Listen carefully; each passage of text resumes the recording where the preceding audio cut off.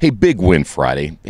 You're playing a football team that's playing pretty well coming in, and they knew they were on a, I guess, from a momentum standpoint, feeling pretty good. When you look at the overall win, how big is that victory? It was extremely big. Put it back, put us back in the race, put us back on top.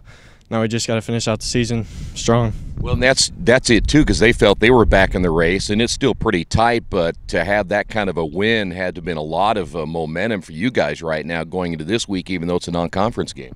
Oh yeah, this game we're really looking forward to sectionals because we think we might play them again sometime during sectionals.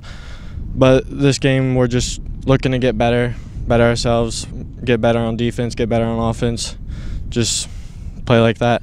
You know, you're uh, speaking of your defense, and you being a part of that. You guys had to feel pretty good about last week. I mean, bottom line, you forced into a bunch of turnovers. You're able to bend but don't break. We talked about that all season long. But from a defensive standpoint, could you have asked for anything better? Oh no, all week we were trying to stop the run and make a pass, and that's exactly what we did. And when they passed, they turned the ball over. How did you read that? I, am curious because they don't like to throw the football, and that's understandable. But every once in a while, they want to put it in the air if they can to kind of keep you guys honest. Did you guys anticipate they might do that? Did you read it? What was that part of it? It was just about getting the ball to third down, and third and long. We were expecting passes more when they go to that twins look, and so they just kept going to that, and we kept deflecting it, intercepting it, whatever we had to do. Yeah. Well, and offensively, put points on the board to talk about the offensive side of the football against a defense that, like their offense, was starting to play a lot better.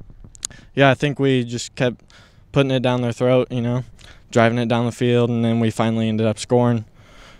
When you mentioned Shenandoah, and again, it's a non conference game, do you guys go in there full bore and say, you know what, is you might again play them sometime in the tournament? Do you want to show them everything, or do you want to go in there as a signature type game and say, if we can make a statement right here, we can show them maybe later?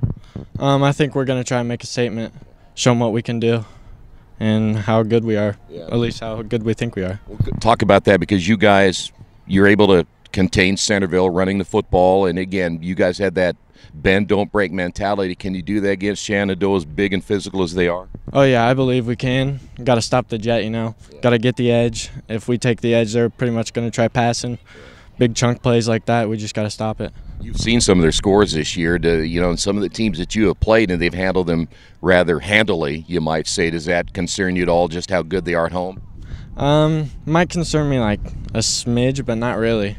I just think we've been playing really good football the past few weeks, and I think it's going to be a dogfight. Are you looking forward? to Is you guys kind of consider this an opportunity more than anything?